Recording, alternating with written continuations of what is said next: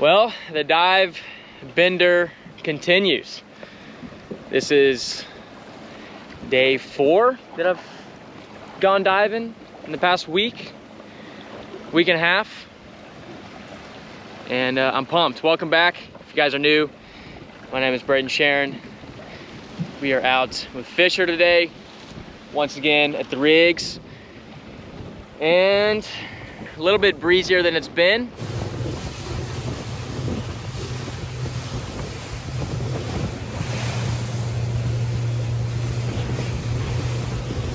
But good enough to make it out and do some diving. I got some good clean, once again, clean green. At some near shore rigs and actually I'm gonna be doing a couple things different today. I'll be trying out a brand new gun. This is actually given to me by Captain George Brown with Texas Blue Water Spearfishing Charters. It's an inverted roller. I installed a reel on it last night and we're gonna test it out today.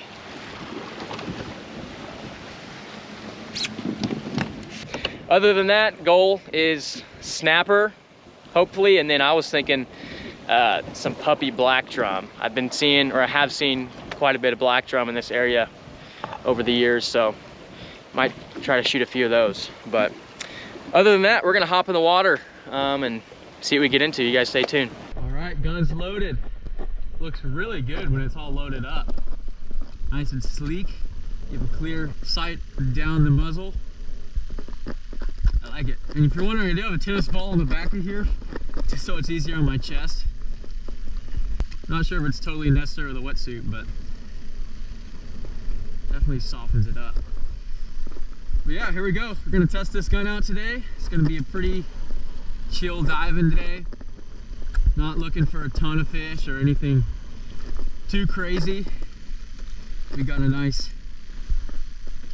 couple meat trips, so really just gonna dive around, see what we can come across. All right, here we go. Into the green. If you guys enjoy the video, I'd really appreciate if you hit the like button. Helps me and the channel out a bunch. And as I said, today's going to be a pretty chill day of diving. We're staying in close, near shore, in 50 feet of water here. It's just a bit too choppy to really send it today. So we're just going to check out this area and try out this new gun. Huge thank you to George, by the way, for sponsoring the channel this. All he asked in return was for feedback. So excited to test it out and use it. Here's a good look at the band lay. Everything's nice and sleek. And I'm just getting a feel for it here. This is my first time ever using an inverted roller. So it'll be cool to see how it shoots and just feel out the differences with it. This thing is supposed to have very minimal recoil and have quite a bit of punch for its size. It is a 100 centimeter gun, but George shoots African Pompano with this setup and has even shot Wahoo, so it's compact and maneuverable, great for the rigs and even dirty water, but also seems to have some zip to sling that spear out there.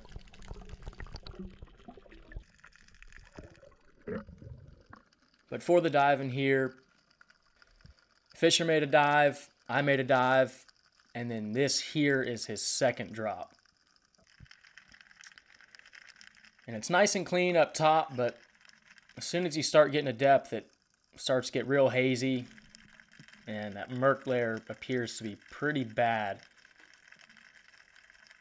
But regardless, a nice eater black drum pops up out of the murk here. And Fisher lets it rip. Pretty cool. I've always had to get him right off the bottom. So that was pretty nice that it came up where he could see it.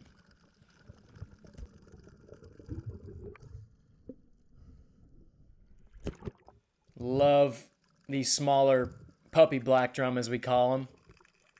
They taste really, really good. And they're fun to hunt too because you have to dive down to the bottom to get them. So there's more of a exciting, challenging aspect to it.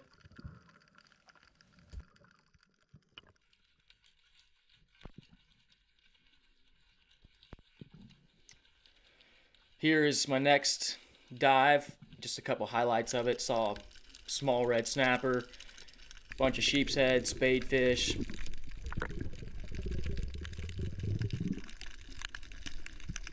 And then Fisher was actually bringing that drum back to the boat, so I was waiting on him. And I pick up a vertical jig here. Figured I'd clean that up. And I actually head back to the boat as well. My mask was leaking because of my mustache. So I went to go get some Vaseline. Your boy needs some Vaseline.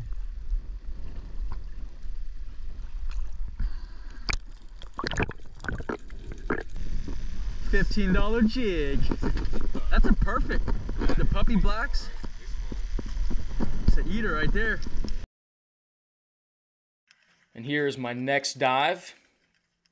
You can see the bottom's really murked out. Fish are dropped down as well, but it's just a cloud. So what we're really just hoping for is for it to settle down and clear up or there to be a pocket of clear for us to see down there. But on this dive, it was pretty blown out, so I just post up and hope that maybe a snapper or a drum will pop up out of the murk. And then on my way up, I saw a tarpon.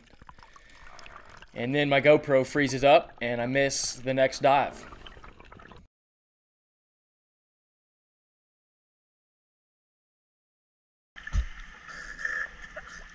Well, my GoPro's not rolling, but dropped down on a bunch of black drum. My gun has zero recoil. There's more down there. Yeah. So like I pulled the trigger, and all I felt was just like I just heard the shaft. Didn't feel any recoil. All right. Got a nice black drum. First shot ever with the inverted roller. And I tell you what,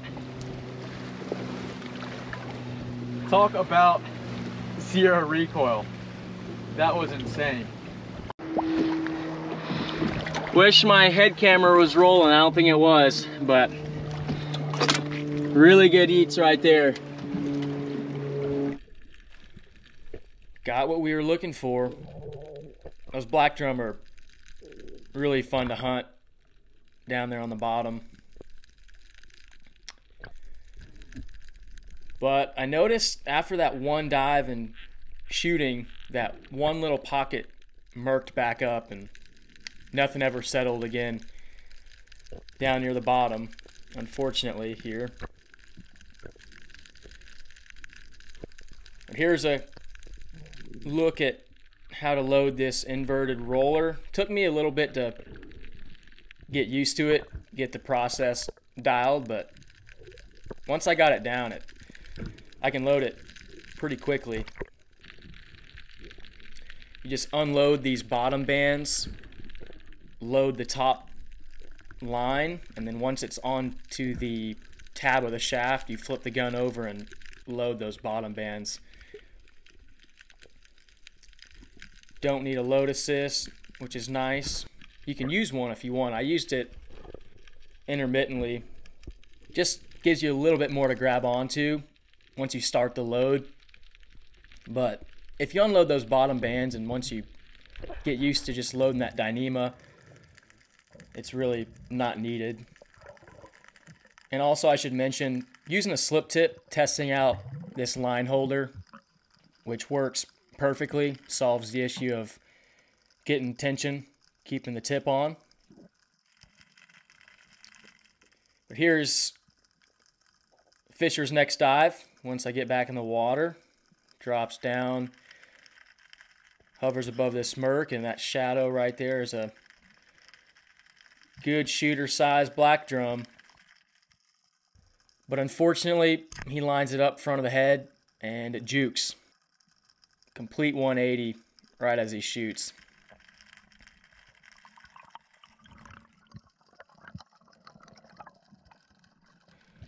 I end up making three more dives on different areas of the rig. This is the third dive. Uh, just see sheep's head, and then this borderline red snapper. I was leaning more so on the side of it being undersized, but it was close. But bottom stays murky and blown out, so we decide to make a move. Not much else going on. Well, the one dive that I dove to the bottom and it was actually clean and saw a drum and shot, my camera had frozen up. It might be a little more nitpicky to load, but I kid you not, I pulled the trigger and it was just like nothing. Pretty cool. Poked that black drum down there at the bottom, 50 feet of water. We got what we hoped for. Couple good eater black drum. Saw one or two red snapper that were close to the minimum. They might have been legal, but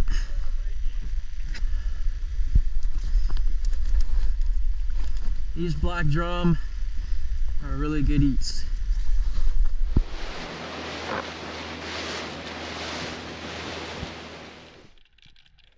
Spot number two here.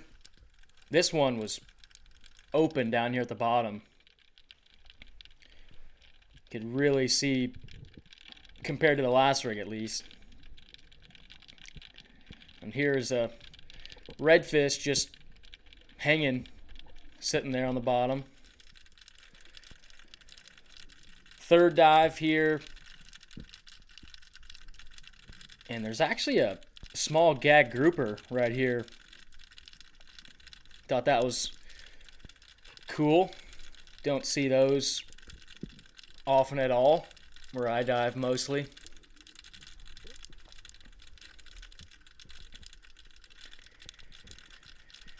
But other than the, the redfish, just about the same as far as sheep's head and spadefish and more undersized red snapper. This here's my fourth dive at this spot.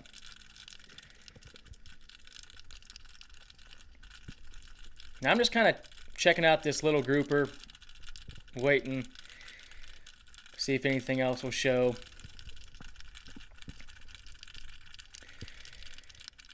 And at this point, I just decide we're seeing all these shooter sheep's head around, and we're not seeing much else to shoot, and I want to get more shots in with the gun. So I let it rip on that one.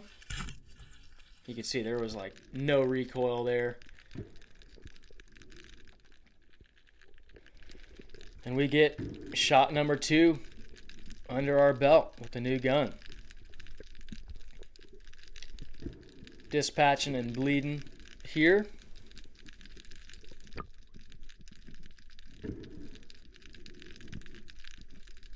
And for those that are new and possibly wondering maybe why we don't normally pay the sheep's head much mind, and it's mainly because we've just been diving for so long. You can get these sheep's head on the jetty or inshore.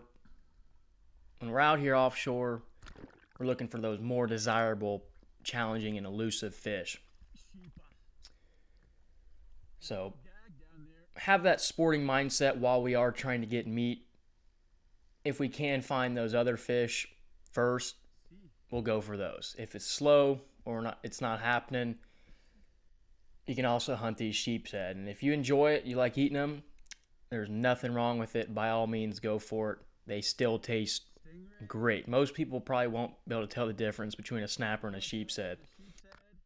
I do personally prefer overall the snapper, in today's case a black drum, but that's not to take away from the sheep's head. I'll still target them as well, say if we're at the jetty or for inshore diving, where that's the main fish, just not typically out here offshore. Well, so far, pretty chill day. Other than the current, it's kind of pushing with this wind. But we got two black drum. That's kind of what we were looking for. And then I shot the sheep's head at the last rig.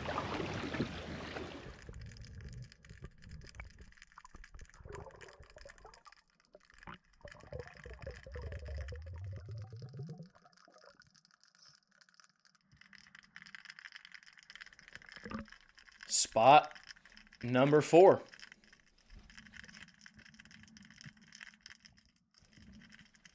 Decided to keep hopping around. And this is Fisher's first dive. And you can see there are a pile of big southern stingrays down here.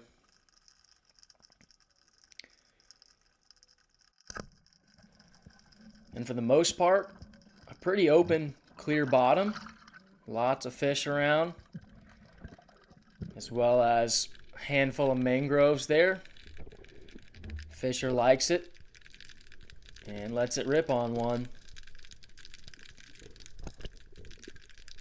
Finally got the snapper we were after. Not quite as big as what you'll see in other videos, but for this area, we will take it. It'll eat.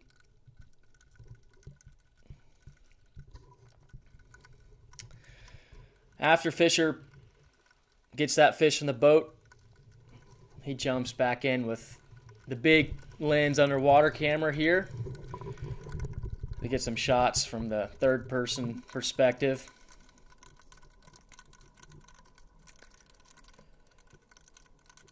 And here I go on a dive. This camera will also give you a lot more realistic look of the watercolor and just the overall environment than the, the GoPros. So just for reference, and I go down and just kind of plane out just high enough off the bottom where I'm not worried about those giant stingrays. And I just look around for a snapper since Fisher got one. But it seems as if the nicer ones have kind of spooked off. And it's also murked up a bit from that commotion.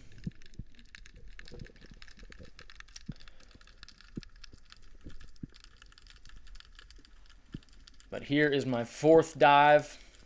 Same spot. Decide to give it one last look here and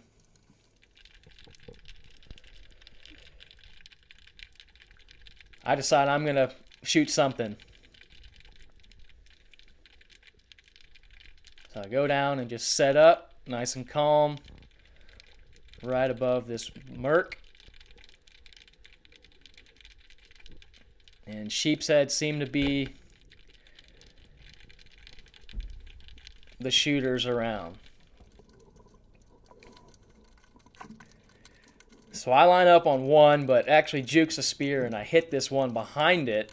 Did not mean to shoot this fish. Completely my fault. But we do get a, a sheep's head.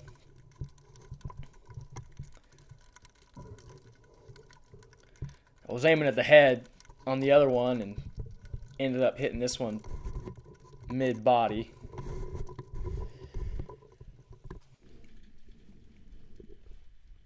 Oh well.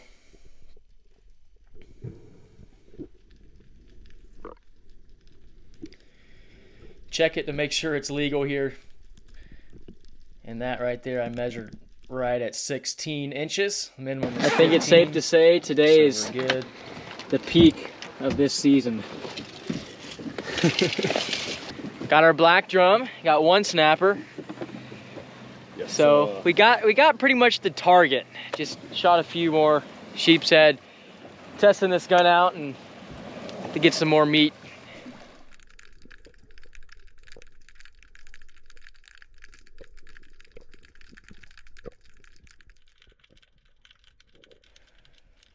All right, one last spot here. Fifth rig of the day. This is my second drop here. Didn't want to end on that last shot. Want to get one more good trigger pull with the gun. Got a big wad of sheep's head. Line up on the one of the bigger ones. And the spear zips right through. This gun, for its size, has quite some punch. It's just weird because there's like no kickback.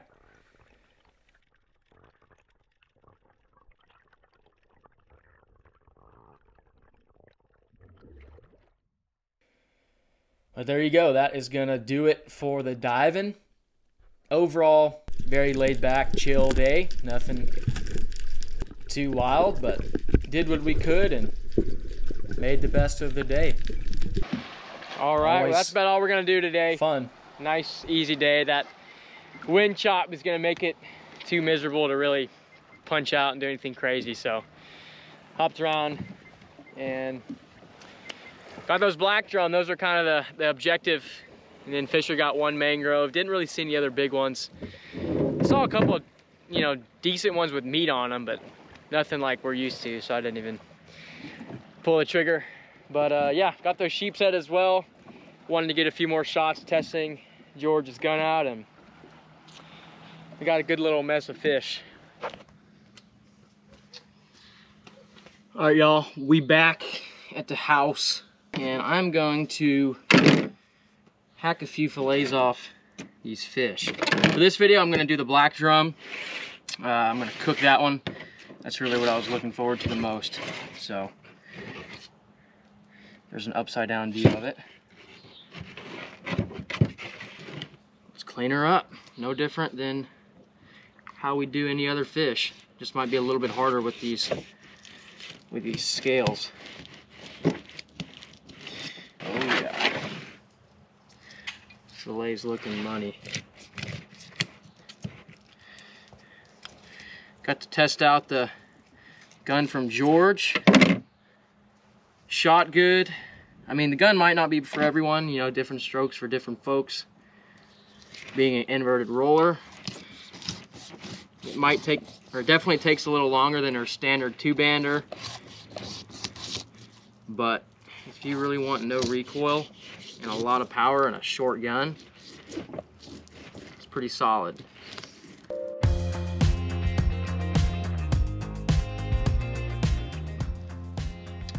Good eats right there. A quick little look at the cooking here. Start out by drying the fish off. I cut the bones and bloodline out. Heat up some olive oil in a pan, season it up with the seasoning we're working on. I'll let you guys know when that is launching. And once the fish is finished, it's ready to go. Keeping it real simple and just eating fish and rice today. Getting the rice ready to go, and then once all of this is done, we're gonna throw the fish on the rice. And this is one of my favorite ways to do it. Real simple, but delicious. And that is it. Hopefully, you guys enjoyed the video. Remember, hit that like button if you enjoyed it, and I'll catch y'all in the next one.